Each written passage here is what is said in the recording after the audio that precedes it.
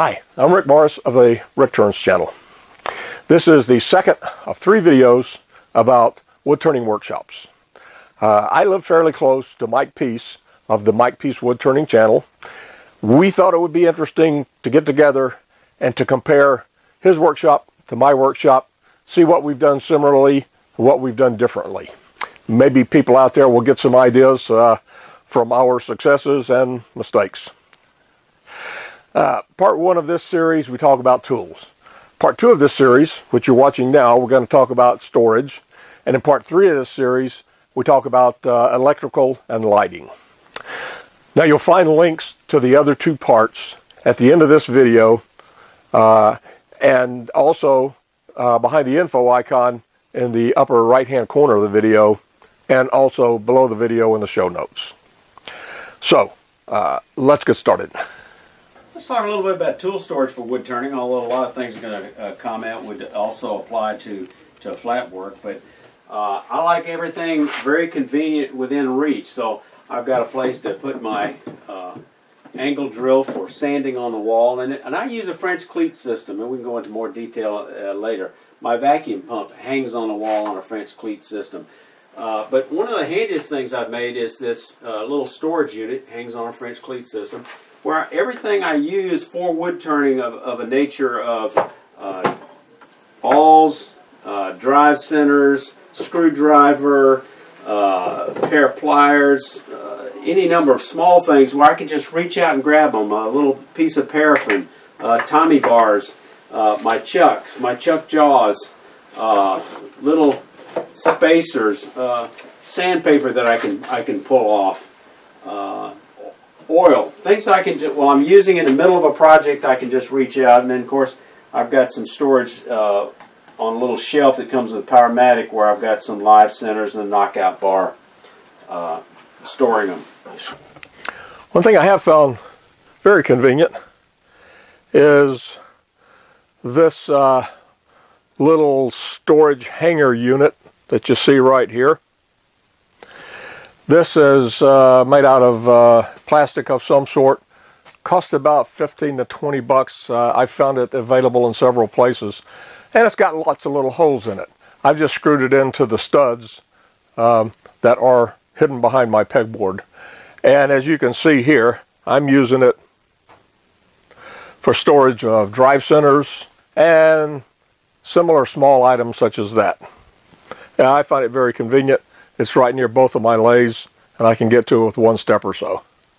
A lot of people want to build a ballast box, and for smaller lathes, sometimes that's a good idea. For a Powermatic, it wasn't necessary. So this is not a ballast box. Uh, it's a storage box because uh, I don't turn huge, massive, out of out of balance pieces. Uh, so I didn't want to fill this up with sandbags, but it makes it nice for uh, tools that aren't used very occasionally that are fairly long. Uh, I did ha have access to ballast. I picked up some uh, granite for my kitchen re refurb. Uh, that doesn't take up a lot of space. That just lays on top of the the box. I've got storage for my my extra uh, tool rests. Uh, I've got a mallet mallet down underneath here occasionally.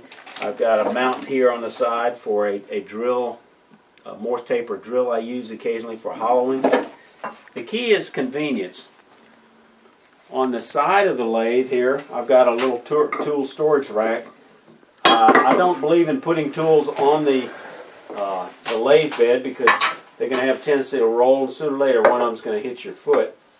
Uh, this is very convenient. It, it can stay on the stand, or I can put it on the on the lathe bed. Now, I built this little cabinet. It's on rollers, and one of the nice features about this is I can move this out of the way and I can take advantage of this particular lathe's sliding headstock feature. This is pretty heavy. It's about 57 pounds, I don't want to lift it and move it. I do have a bad back like most guys my age, but I can slide it over there and just wheel this out of the way.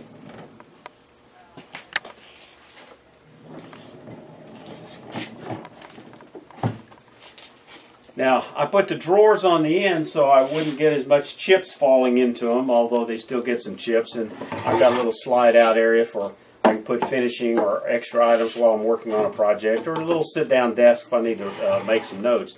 And then I've got a series of drawers, kind of like a mechanic's chest, of different different sizes with, you know, diamond hones, pocket knives, small pliers. It just goes on and on. Uh, but I know where everything is in these drawers, and I think a key mistake that some people make, I, I, certainly made it on my first one, is making all the drawers very large because then things tend to pile up and you can't see things. And I even down the bottom, I do have a large one for various uh, threaded blocks and glue blocks and, and wooden jigs. I'm not a big fan of pegboard, but uh, uh, I had this left over from previous previous shop. But it, it is a great area to hang these large table saw and bandsaw fixtures that are rarely rarely used that are too big to put in a in a drawer. Mike and I have vastly different ideas of the best way to, to do storage in the workshop. As you see in Mike's shop, he's built a lot of cabinets and uh, drawers and uh, French cleat system and everything for his shop. Uh, in my shop, pretty much all you'll see is pegboard. Pegboard all the way around the shop. Just like I said, my pegboard goes all the way around the workshop. From the front of the shop, where I've got uh, a garage door, all the way down the side here. And it's about, I think, 24, 28 feet long. I can't remember exactly. And then all the way up the other side of the workshop, I've got pegboard here as well including right over beside the door. Basically, everywhere there was a stud exposed has been covered up with pegboard. to me, this is the best and the easiest way to store the tools that I frequently use and, and even the ones that I infrequently use. Um, Mike's got lots of drawers and only one piece of pegboard. I've got lots of pegboard, and I think maybe I've only got one drawer unit in here aside from small part storage. Mike told me one reason he doesn't like pegboard is that the pegs want to pull out all the time. And uh, I certainly agree with that. The solution I found when I started putting together this workshop, I looked specifically for quarter inch pegs that didn't cost an arm and a leg. And I found these plastic ones, and they have quarter inch posts on them like this and like this. And they're also angled just a little bit. I don't know if it's going to show there, but this one's angled downward just a little bit. So you plug it in there, and then you push it in there, and now it's really solid. You can pull it out uh, if you put some pressure on it, but it's not going to come out too easily. This one is the same thing. Now this one, the uh, angles on these two pegs are quite obvious, I think. So you put that one in, put that one in, and now you've got a really solid peg there it's not going to come out unless you really put some pressure into it. Frequently, a lot of lathe uh, stands lend themselves to tool storage underneath, uh, such as this uh, simple one I've made for the Jet. For the tools that I don't tend to use not so often, and once I moved to a Powermatic, I relegated my Jet to a uh, three-on-one Beall buffer. One of the handiest things I think that everybody's got to come up with some type of solution is tool storage. Your turning tool uh, storage, your gouges and, and chisels. I made a lazy Susan. Not everybody's got this many tools, and I probably there's no such thing as a bad tool, just tools you don't use as often. Uh, I've also got a bucket which I put a donut in it with holes, and this is very handy because I can keep this close to me for the tools I'm using on a project. But it's also easy to, to transport tools off-site to, to workshops and, and demonstrations which is a, uh, a, a, very nice nice feature. Let me quickly mention one one safety design feature. I've seen people that have wood turning tool designs where the, the sharp end of the tool is up, and that just scares the living bejesus out of me because if you slip, uh, it's treating the improbable or unlikely as impossible. One slip and you catch this under your throat, you're going to bleed out before anyone ever gets to you. Uh, it's not that hard to identify your tools. I put letters on them. I have a lot of handmade uh, uh, tool handles, so I can generally recognize the tool uh, from from the uh, handle or the, or the marking on the handle. X for scraper, D for dovetail, B for bowl gouge, what have you. Yes, I'm afraid I live dangerously. Uh, I know this is not a safe approach. My wife has been on me about it for years Uh, and now Mike has pointed out on camera how foolish I am. I can't deny it. I'm going to have to change this and do something else with them. But I'll tell you, it's really convenient this way, even though it's not safe. Granted, not safe, but I can tell what everything is. Otherwise, I have to put them upside down or something and uh, burn a name or something into the bottom of it. It won't be nearly as easy, I don't think. But I'll grant you it's a lot safer. I've also put this unit on wheels so I can move it around closer to whatever lathe I happen to be working on.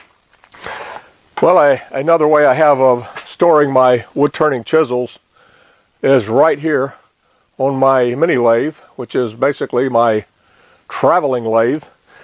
Uh, when I used to have things for sale at galleries, uh, I would sometimes take my lathe here over there, do a demo while people were watching, make stuff while they uh, were there. And so I put these PVC pipe sections on here, put a little piece of wood in the bottom there to, to keep them uh, uh, keep the tool from dropping all the way through. All I have to do is be careful when I reach for a tool back here, not to uh, put a trough down the length of my arm on these points right here. Mike's got me there. Going to have to find a better way. Wood storage is always a challenge in a shop. Uh, I store some uh, dried wood over here in this inexpensive uh, uh, shelf shelf assembly. And you know, my shop. This is a, a good example of how things just grow. Uh, I had some extra PVC, so I I put it on the side so I could put dowels and extra tool handles in. Over here, I, I, generally keep smaller pieces and exotic uh, exotic wood. I've got some larger pieces uh, against the wall over there. One thing every shop needs is a place to store wood. Generally, I found storing it outside really shortens the life of uh, the logs and, and the pieces that I've got. So I try and store the wood that I intend to use, say within the next year or so, inside, and it gets stuffed down below, generally below workbenches and a few places like that. I don't really have uh, a nicely dedicated shelf or anything for wood storage. Uh, even underneath my workbench there, you can see pretty much all the spare space is taken up with uh, a few logs that I managed to get hold of just recently and cut down into slabs.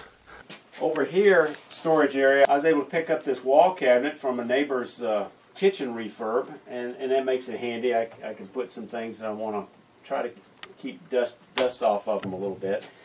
I designed this one uh, to tailor it for all my wood turning, so I've got a cabinet here I can put my uh, Trend dust shield in. I've got an open area where I put my drill, uh, electric drills, and then I've got a series of drawers in different sizes for different uh, different items, large bulky items. And then over here I've got some larger cabinets. This is my workstation for wood burning, signing my signature on a work, doing some glue ups uh, occasionally. That, that works well. Little desk if I need to work on something. And then I've got some places to put some larger uh, box underneath. Uh, I made this little cabinet for some of my, my drill accessories, and basically it was an old drawer which I just cut in half on a table saw and made a little cabinet uh, that I could put some of the drill bits in. And then I hang some of them frequently used on the outside. And I made this little tray to put smaller items that uh, don't hang very well, and, and that's handy. And my, my other concession to drawers is uh, a number of uh, bins pre-made bins that I hang up on my pegboard for small part storage, like these right here, which are probably the most uh, convenient bins I put up in the workshop anywhere. These are fairly good, not quite as convenient, and some really old uh, uh, small parts bins right here, and they go way back. I mentioned a French, my French cleat system. Basically, it's 45 degree angle on two matching pieces, so you can take a 4 by 8 sheet of plywood and rip these strips of about oh three and a half inches. The, the, it's extremely versatile because you can make any little adapter for almost any little little tool. Uh, and it really lends itself to rearranging your shop by just picking up an item and moving it somewhere else. But the key to the French cleat system is you need to do it early on in your design because once you start uh, moving into your shop, putting things on the wall, very difficult to go back in and put a French cleat. Wall storage can be very handy, especially for larger items such as this table. I just lift this up drop it back in space. Uh, the guard on my table saw, uh, my Lyle Jamieson hollowing rig uh, up against the wall. Over here against the wall, it's not so easy to get to it. I've got a whiteboard. Uh, got a note from my my uh, shop uh, uh, shop fairy, Happy Corner by Pepper. Here's an example of, of making a little rig to hold something that's otherwise large and, and bulky, and that's a, a laser shop made laser uh, rig for my hollowing system. In addition, I've got this closet here that so I take advantage of the space here for uh, all the different clamps. You never can have too many clamps if you're a flat worker. So I have clamps here, C clamps here. Uh, here's my Lyle Jamieson hollowing rig, the other part, with a special little cleat uh, to store it. I've got some hand screws and larger clamps on, on the side. That about wraps it up for our discussion of storage in the workshop. Uh, we do hope you have found this video useful or at the very least perhaps minimally amusing. Uh, for the other two videos uh, about workshops, tools, and electrical and lighting, just take a look around the screen. You'll find links to them and you'll be able to go right there. See you next video.